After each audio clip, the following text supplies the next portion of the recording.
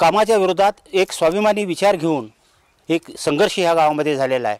भले मग ते पारंपरिक सगळ्या प्रकारची कामं झाडलोट करणे खबर सा झाडलोट करणे खबर सांगणे गुरंढोरं ओढणे त्यांचं ते स्व- गावची स्वच्छता ठेवणे प्रत्येक सणाला एक विशिष्ट पद्धतीनं म्हणजे उदाहरणार्थ बेंदर असला तर तिथं तिथं तोरण बांधणे झाडाच्या पालाचा. अशा तत्सम अशा प्रकारची गुलामगिरी दर्शक आणि गुलामगिरी वाचक अशा प्रकारची कामं या समाजाला करावी लागत होतोय परंतु बाबासाहेबांची जयंती या गावामध्ये साजरी झाली. बाबासाहेबांचे विचार या समाजानं ऐकले आणि असा काही स्फोट झाला की बाबासाहेबांच्या विचाराशिवाय बाबासाहेबांचा विचारच ह्या सगळ्या विषयावर एकमेव उपाय आहे. असं या समाजानं लक्षात घेऊन बाबासाहेबांच्या विचारातनं ही गावची गुलामगिरी एका झटक्यात टाकली.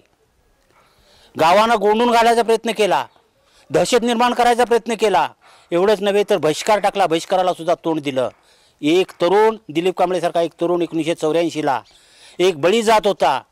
म्हणजे बळी घेण्या इतपत मानसिकता इथल्या जातीवादी समाजव्यवस्थेची एवढी चढेल होती.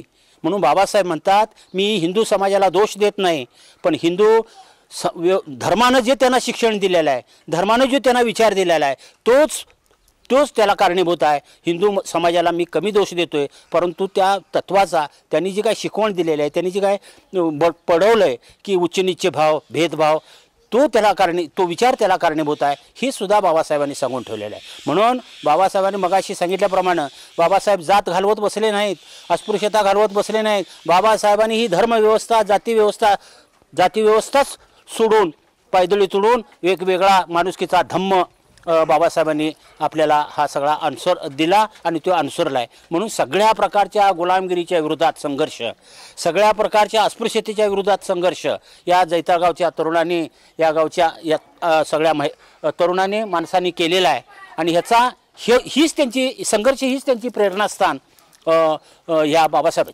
बाबासाहेबांच्या विचाराची आहे. आणि घटनेनं जे काही त्यांना अधिकार दिलेले आहेत हक्क दिलेले आहेत. त्याची पुरेपूर अंमलबजावणी घटनेच्या माध्यमातून प्रशासनाच्या माध्य कायद्याच्या माध्यमातून प्रशासनाच्या माध्यमातून त्याने आपल्या पदरात पाडून घेतलेले आहे. आणि आज एक वेगळा एक उमेद एका उमेदीनं वेगळ्या जिद्दीनं आणि एका वेगळ्या आयुर्भावात समाज जगताना हा आपल्याला दिसतो आहे.